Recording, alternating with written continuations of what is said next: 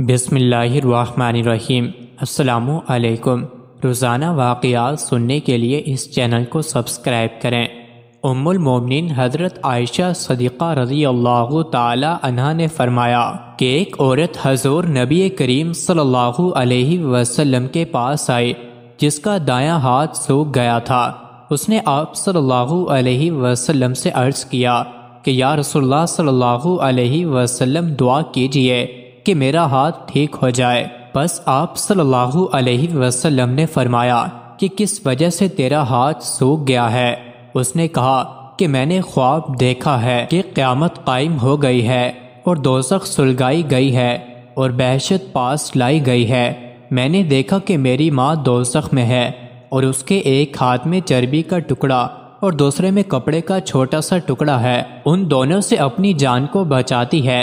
मैंने उससे पूछा कि क्या वजह है कि तू दोजख के गड़े में क्यों पड़ी है? तू तो दुनिया में अल्लाह की फर्मा बरदार थी और तुझसे तेरा शोहर भी राज़ी था। तो उसने कहा कि मेरी बेटी, मैं दुनिया में बखील थी और ये मकाम बखीलों के लिए है। फिर अपनी माँ से कहा कि तेरे हाथ में चर्बी और कपड़े का टुकड़ा क्यों है? उसने कहा कि उन्हीं दिनों की वजह से मेरी जान बची है, जो मैंने दुनिया में अल्लाह के लिए दिए थे।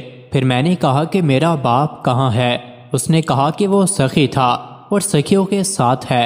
फिर मैं जन्नत में आई और अपने बाप को हौस के किनारे खड़ा हुआ देखा, जो लोगों को पानी पिला रहा था। मैंने अपने बाप से कहा कि मेरी माँ, अल्लाह ताला की फर्मा बरदार औरत थी और तू भी उससे राज़ी था। वो दोजख में जल रही है और सख्त प्यासी है और तू लोगों को हजूर नबी करीम सल्लल्लाहु अलैहि वसल्लम के हौज से पानी पिला रहा है। बस उसको भी पानी का एक घूंट पिला दो। उसने कहा कि, ए मेरी बेटी, अल्लाह ताला ने गुनाहगार बखीलों पर हज़रत मोहम्मद सल्लल्लाहु अलैहि वसल्लम के हौज का पानी हराम किया है। तो इसके बाद मैंने अपने बाप की इजाज़त के बगैर पानी का एक प्याला अपनी प्यासी माँ को पिलाया।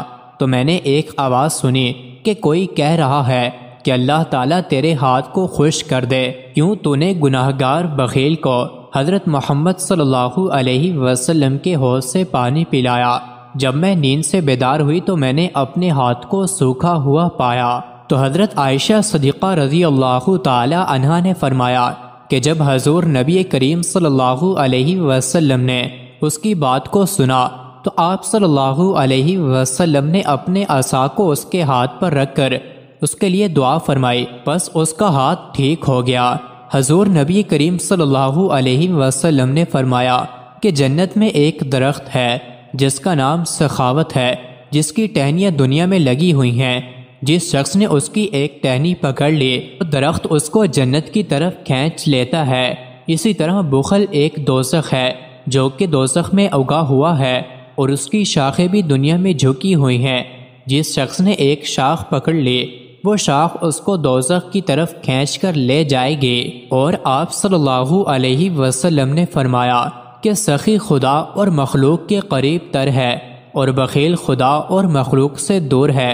और आपने फरमाया कि बखेल जन्नत में दाखिल नहीं होगा, अगरचे वो जाहिद आबिद ही क्यों ना हो। मज़ीद ऐसी ही वीडियोस के लिए चैनल को ज़रूर सब्सक्राइब करें।